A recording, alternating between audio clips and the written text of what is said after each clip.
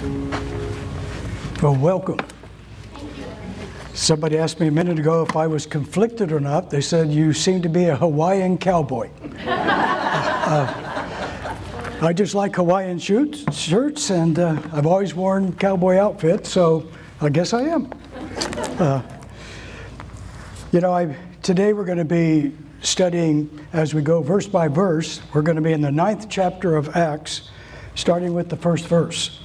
It's one of my favorite sections of Scripture because it talks about Saul, who later becomes Paul. And starts out and it says, Meanwhile, Saul was still breathing out murderous threats against the Lord's disciples.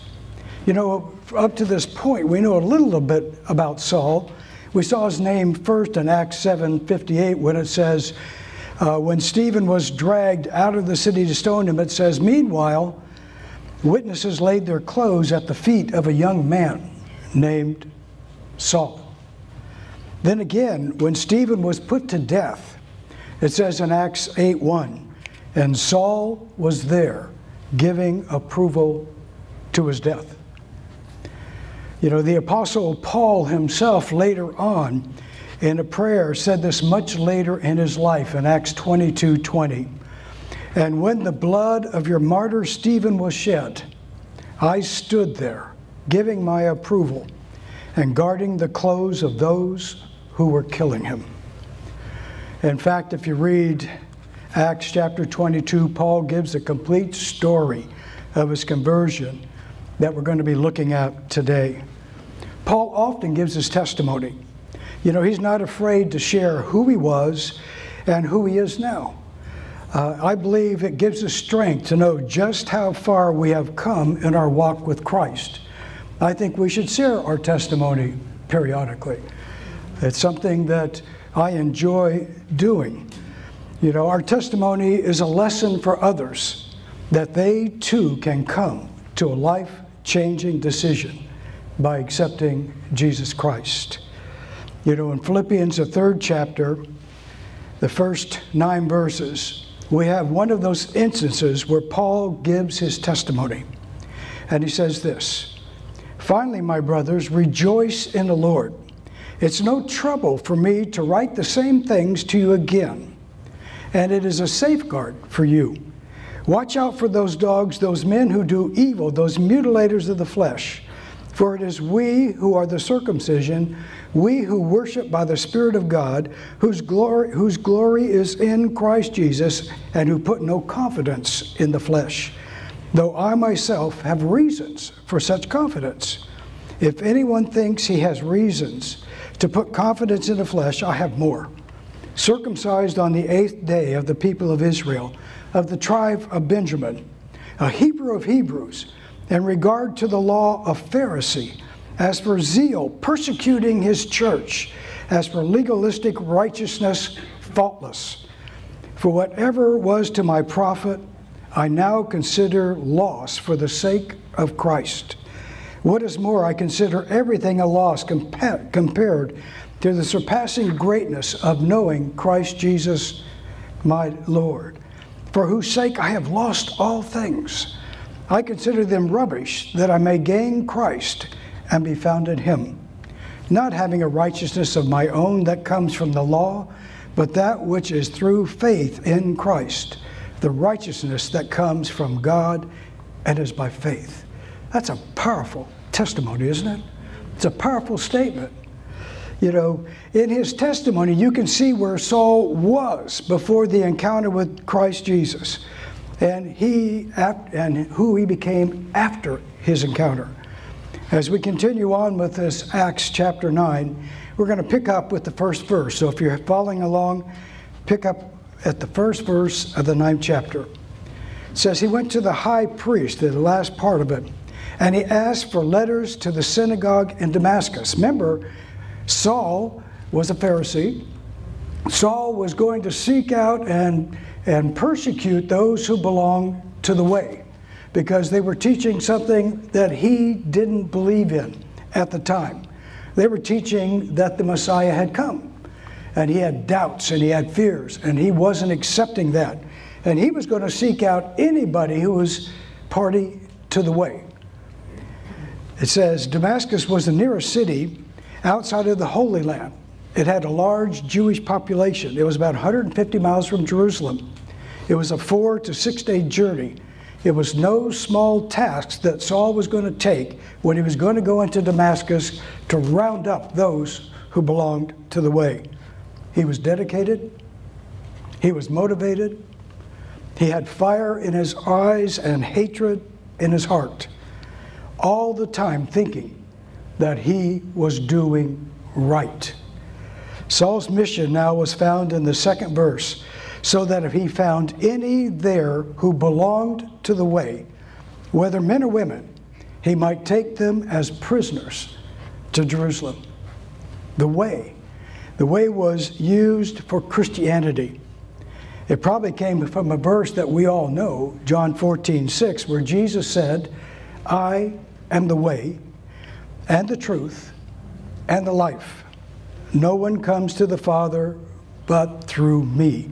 The term the way is used for Christianity many times in Acts. It's found in the 16th chapter, the 18th chapter, the 19th chapter, the 22nd chapter, and the 24th chapter.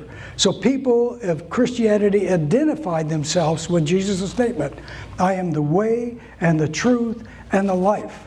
No one comes to the Father but through me. That's a statement you and I need to commit to memory and be willing to say that anytime, any place, anywhere. Scripture goes on in the third verse. As Saul neared Damascus on his journey, suddenly a light from heaven flashed around him. He fell to the ground and he heard a voice say to him, Saul, Saul, why do you persecute me? You know, sometimes you just need to get knocked down to listen, don't you? Sometimes we just get, need to get knocked off our feet to listen to what God is trying to tell us. It's not the best way to do it, but it's often in our testimony. That's my testimony. I was knocked off my pedestal and I realized I needed somebody. Well, Saul says, well, who are you? And I like this next part because in the Greek, he's talking about somebody that's lording over him. He says, Who are you, Lord? Saul asked. He knew that he was dealing with someone powerful here, didn't he? He had been knocked down. He had been literally knocked down on the road. And Saul asked, and Jesus said, I am Jesus whom you are persecuting. He replied, Now get up and go into the city, and you will be told what you must do. Boy, I, I love that statement. Who was Saul persecuting? The way, right? He's dragging men and women and putting them into prison if he can. He had Stephen put to death. And yet, he's knocked down by this voice that's there, this thundering voice that nobody else, they heard the noise, but nobody else heard the words. And he's knocked down and he said, Who are you, Lord? And Jesus says, I am Jesus whom you are persecuting. If you persecute the church, who are you persecuting? Jesus Christ, aren't you? We stand because of him. Well, we're told in 1 Corinthians 12 27, now you are the body of Christ, and each one of you is a part of it. In Ephesians 1, verses 22 and 23, it says, And God placed all things under his feet and appointed him to be head over everything for the church, which is his body, the fullness of him who fills everything in every way. Yeah, I want to say it again. To persecute the church is to persecute Christ. Well, says the men traveling with Saul stood there speechless. They heard the sound, but they didn't see anyone. Saul got up from the ground, but when he opened his eyes, he could see nothing. So they led him by hand into Damascus. For three days he was blind, and he did not eat or drink anything. Can you imagine that?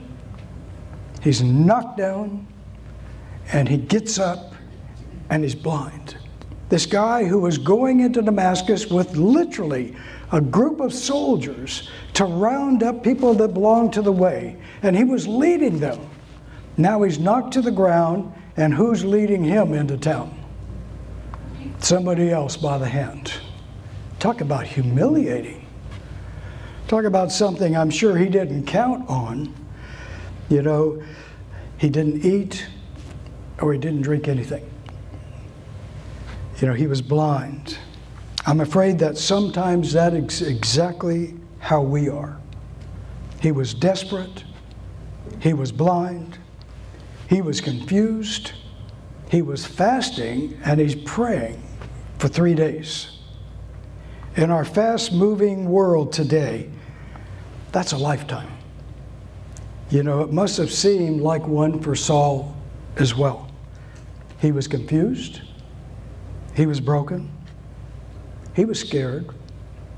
He didn't know what to do. He had been accused of persecuting Jesus. Maybe now he was thinking about Stephen's sermon that he had to have heard when he was standing there. He must have been flooded with feelings of guilt, but he still did not understand. You know, wasn't he doing God's work? Or had it all been really just to protect what he had been raised with his Hebrew heritage, his religion, his way of life? Had he missed something there? It's like a person in a biblical discussion that says, I don't care what the Bible says, I know what I believe. A lot of people believe that, don't they? A lot of people will stand that way. You know, I had a, a very good friend, a Catholic priest, and I were studying Greek together. I was teaching him to read from the scriptures in the Greek. And he took off his glasses and he said to me, You see this?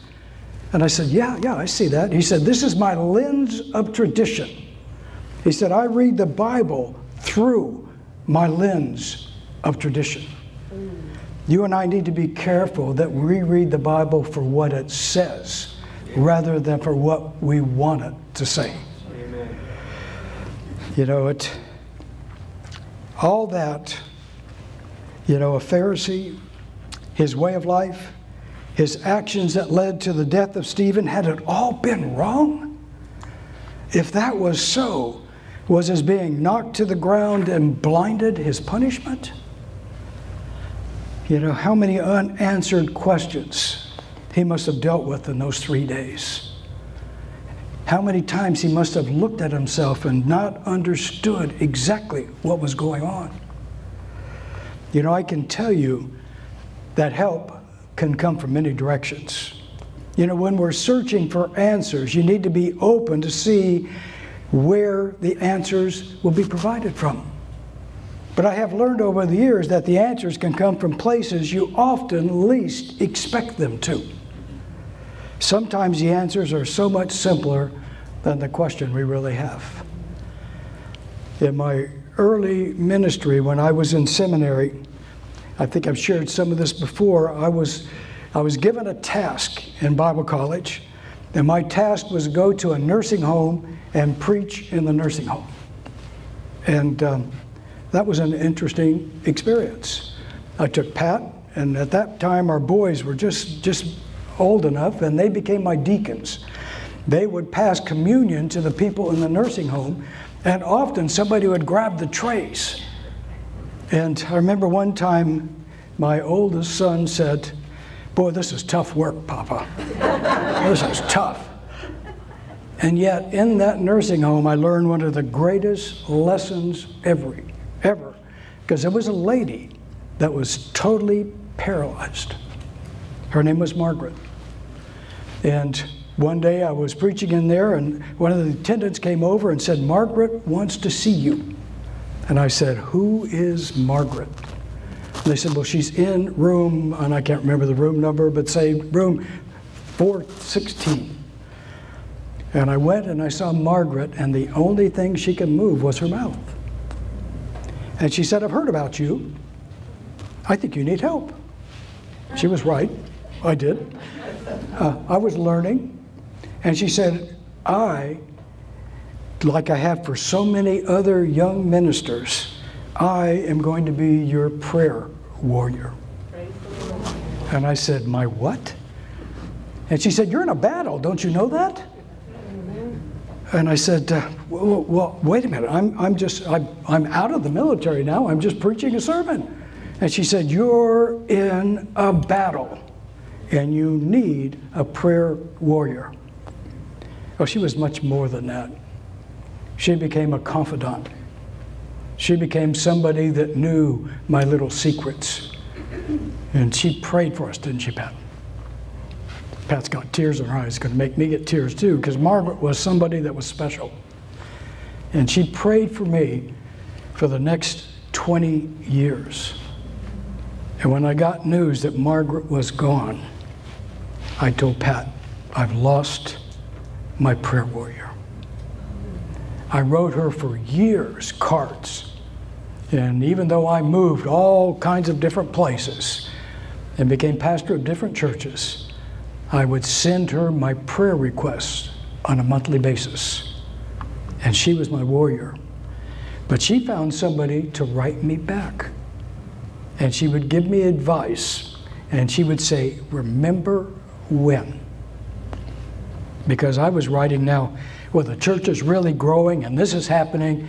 And she would say, Remember when? Remember when you were confused? Remember when this happened? Remember that? I don't think Paul ever forgot, do you?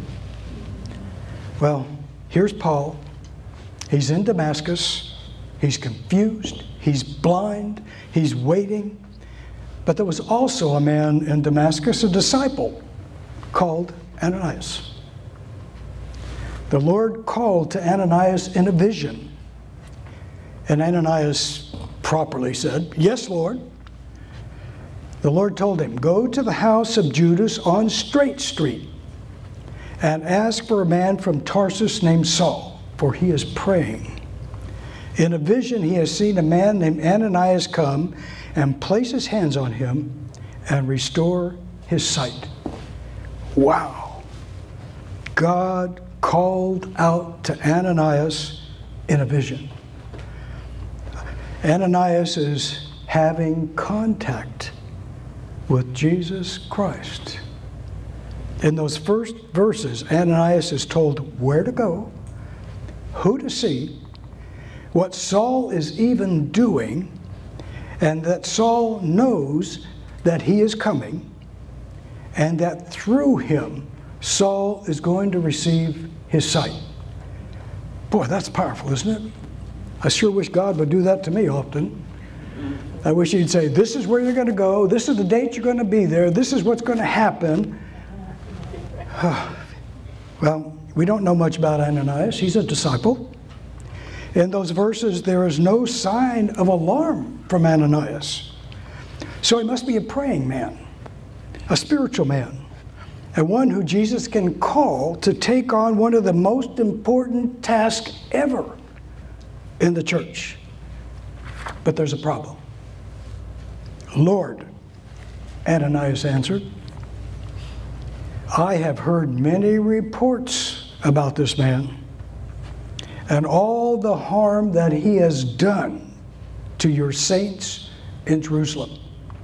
And he has come here with authority from the chief priest to arrest all who call on your name. An excuse. Do you have excuses that you give God? I'm too busy today or, or I'm not sure they're home. Or when Pat and I started churches, that was my excuse. You know, Pat will go out and greet and talk to anybody in the world, and you have to push me and push me and push me to get me to do that. So we'd drive up to a house, and if they had one car there, I would say, you know, obviously, they're a two car family. Nobody's home, Pat. We need to go on to the next place. And Pat would say, Who are you kidding? we need to call on this house. And I can't tell you how many times the door opened and great things took place because of that. But Ananias said, Wow, I've heard about this guy.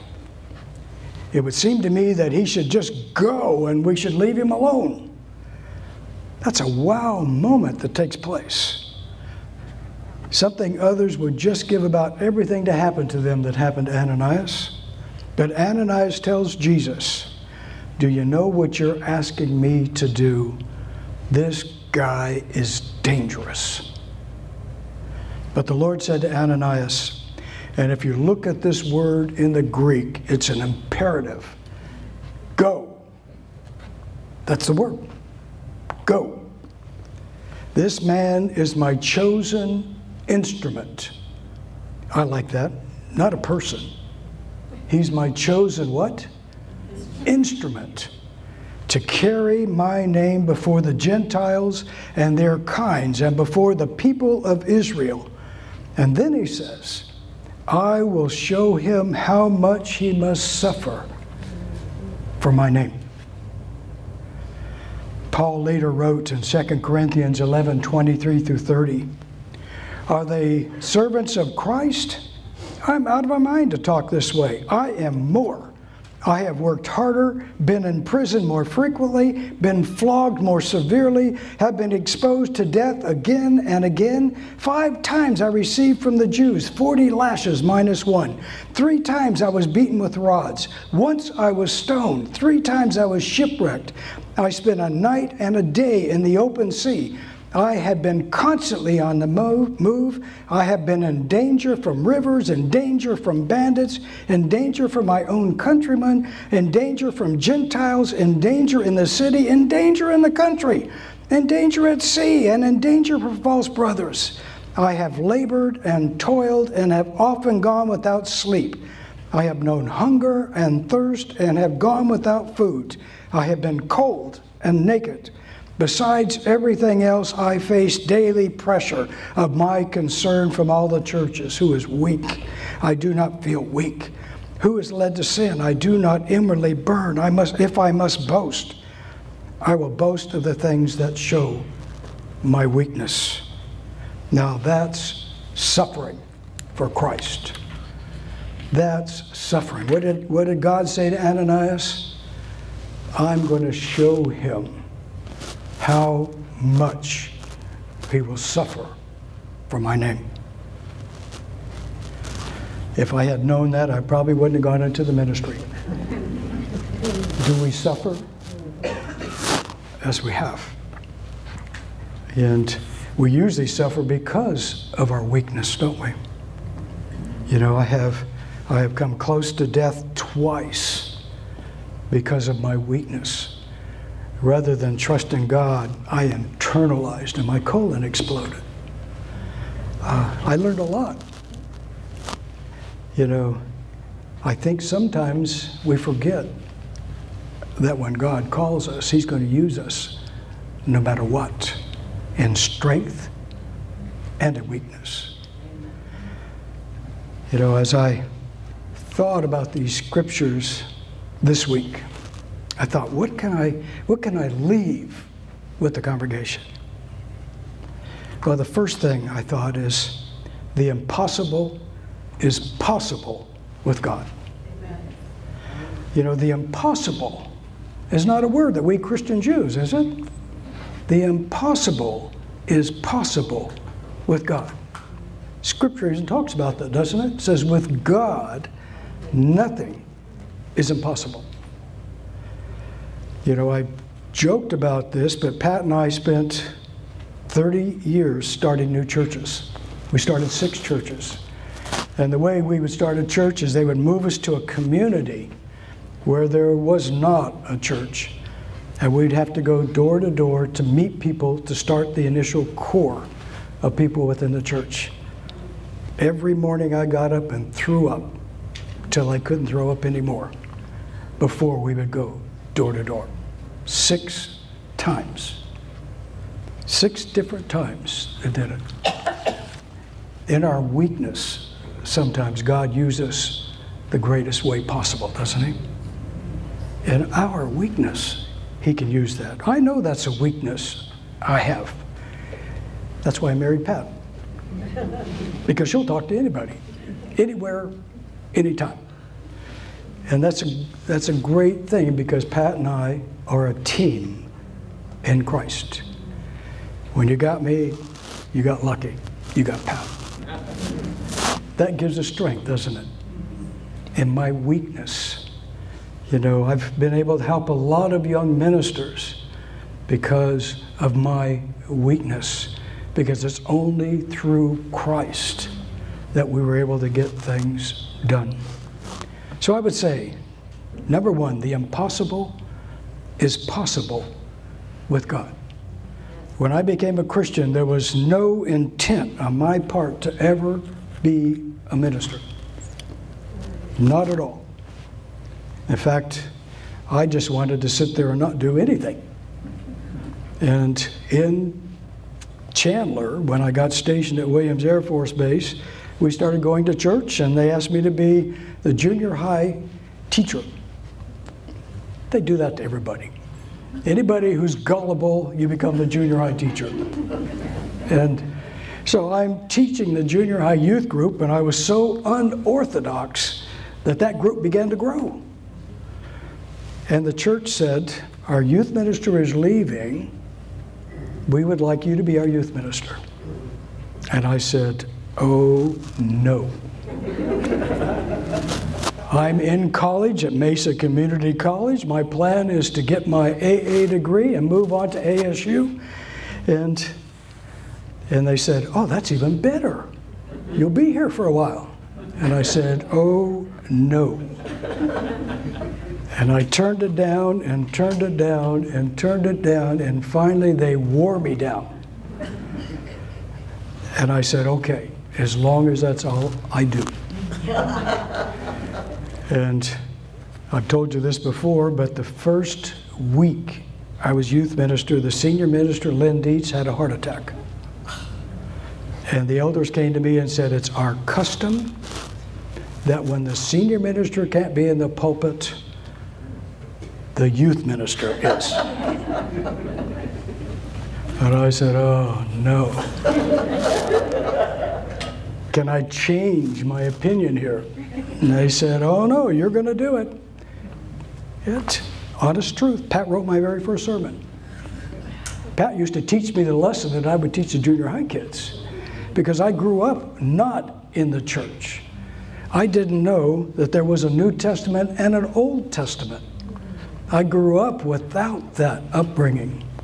So Pat wrote my first sermon out of the book of James, and I paid for that later on because I am preaching in church, and it's like here, and there was a fan right over the pulpit, and it blew my pages shut. And out of my mouth came a profanity. I was brand new. I'm just learning Christianity, and, and I didn't even realize I did that. I finally found the page again, and maybe 10 minutes later, or probably five minutes later, because my whole sermon probably lasted 12 minutes, but after, after about five minutes, it did it again, and out of my mouth came another one. Uh, I was learning. After the, the message, I'm standing at the back of the church, as ministers do, and as people came out, they could have destroyed me. People could have said, I heard what you said up there. You're never going to be in the pulpit ever again. But as people came out, they said things like, Well, we think you're a diamond in the rough. Uh, we think you have some potential. Uh, well, they had to put up with me for six more weeks in the pulpit, and, and a young man came forward to accept Christ. I think he figured, gosh, if this guy can be preaching, anybody can come forward. And I baptized him. I really didn't understand exactly. And the, the joke is true. As I lowered him in the water, I had put on the minister's waders. And as I lowered him in the water, the water rose and filled my waders full of water. it's a miracle I stayed in the ministry. because I didn't know what to do. But I thought, okay, I'll say a prayer. Said a prayer, shut the curtains, took the straps off, fell out of the baptistry. I'm sopping wet, and I run to the back of the church. And I said to Pat, Do you think anybody will know that? Uh, she said, There's a puddle of water, Wally. With God, nothing is impossible. Amen. Saul persecuted the church, he persecuted the way. Jesus said, I am whom you are persecuting. His reputation brought fear around those. He participated in a murder, and yet God chose him to carry the gospel to the world. Nothing is impossible with God. Well, second, your call, as simple as it sounds, may change the world around you. I believe that God calls each and every one of you to a task. Sometimes we never find out what that task is. But I believe He calls each of us to a task. That requires that we live for Him, though. That requires that you know, that we share our testimony. That requires that we let people know that we are not perfect, but we are forgiven in Christ Jesus. That's the greatest testimony we have, isn't it? I, my greatest testimony is when somebody criticizes me for something I've done, I can say, Well, boy, I'm sure glad I have Jesus because he forgave me. And last, trust trust that nothing is impossible for you with God at your side. Trust it over and over and over again.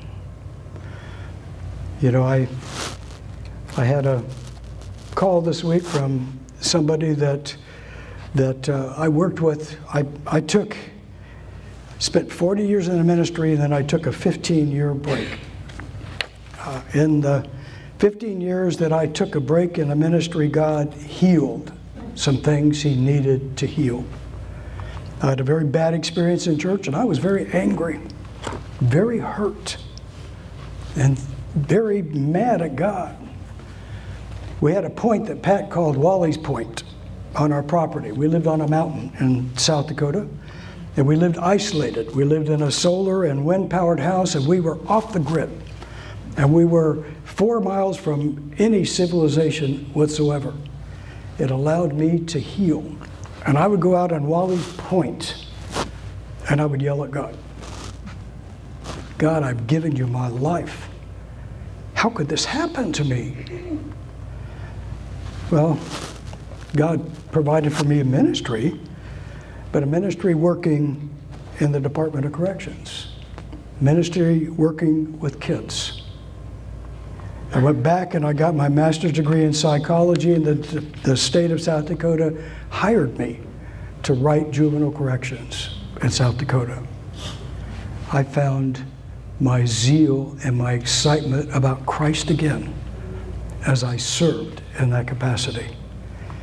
I can't tell you how many kids I told about Jesus Christ. The governor called me the minister for the Department of Corrections. He would have me pray at all kinds of events. He even sent me during campaign time to preach in churches and say that the governor sent me. Uh, and he restored my soul. He restored who I was.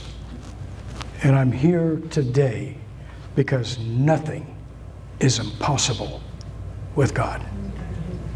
And you're my prayer warriors today. A lot of people have said to me, I'm praying for you. You're my prayer warriors, and I'm yours. Pat can tell you every single morning I get up and I have a directory that I've added a bunch of names on, and I pray for every single person in this church. Sometimes I don't know what to pray for, but I just pray that God will open a door or bless or heal you. nothing is impossible with God.